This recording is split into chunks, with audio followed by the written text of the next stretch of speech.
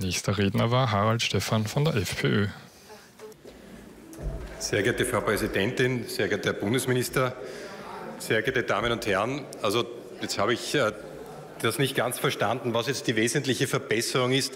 Wir haben, glaube ich, hier äh, versucht, etwas abzufangen, was äh, sehr unangenehm ist. Insofern ist es vielleicht eine Verbesserung, dass es dieses Gesetz gibt, aber ich möchte es kurz erklären.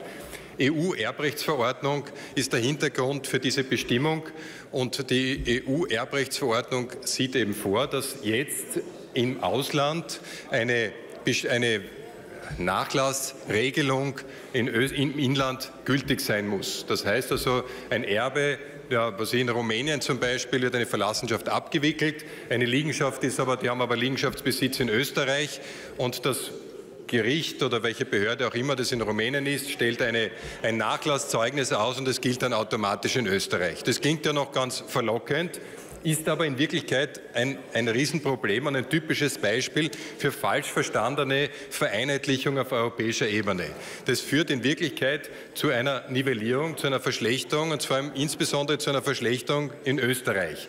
Denn in Österreich gibt es das Grundbuch, das, auf das man hundertprozentig vertrauen kann, weil das geprüft wird, weil jede Eintragung im Grundbuch einer sehr aufwendigen äh, Vorgangsweise vorausgeht, das Grundbuchgericht das genau prüft und man darauf vertrauen kann, wer ist Eigentümer.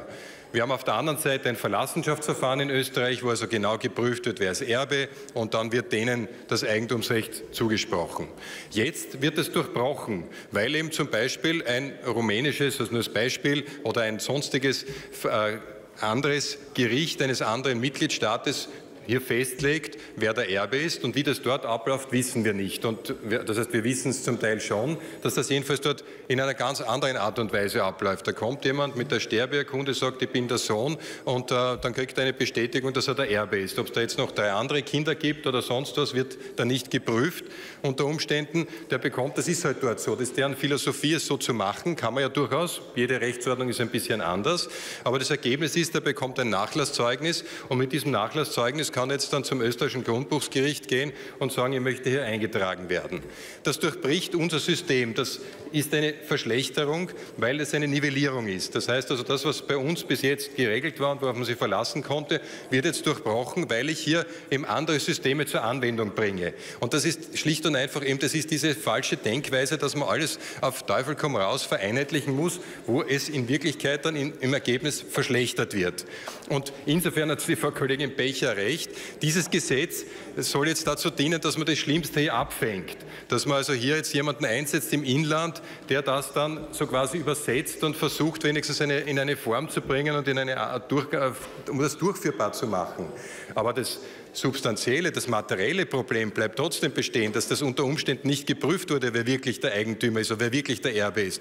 Das heißt, ich habe dann unter Umständen nachher einen Streit, der dazu führt, dass das, was bei uns im Grundbuch steht, nicht stimmt und dann wieder geändert werden muss. Also da hat man wirklich also auf, auf europäischer Ebene mit dieser EU-Erbrechtsverordnung und mit diesem europäischen Nachlasszeugnis etwas Schlechtes aus unserer Sicht, aus österreichischer Sicht produziert.